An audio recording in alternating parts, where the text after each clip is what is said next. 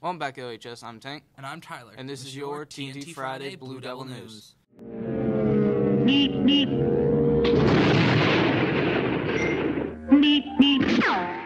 Sophomores, juniors, and seniors, the due date for National Honor Society applications is next Friday, September 30th.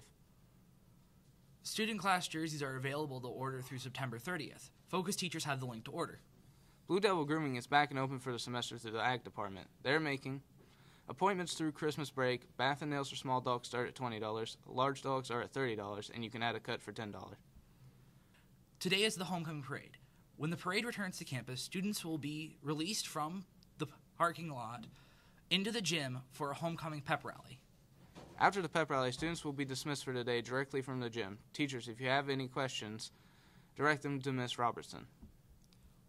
The junior class is selling crew neck sweatshirts and stickers until fall break.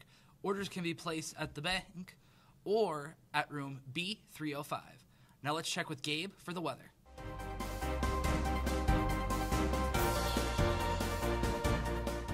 Thanks, guys. T- it's game day, y'all. Today's high is 76 with a low of 55.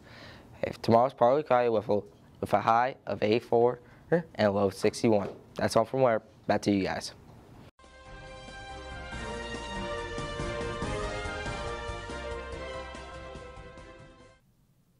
Thanks, Gabe. Cross country has a meet tomorrow in Cookeville at Burnett in- Invitational.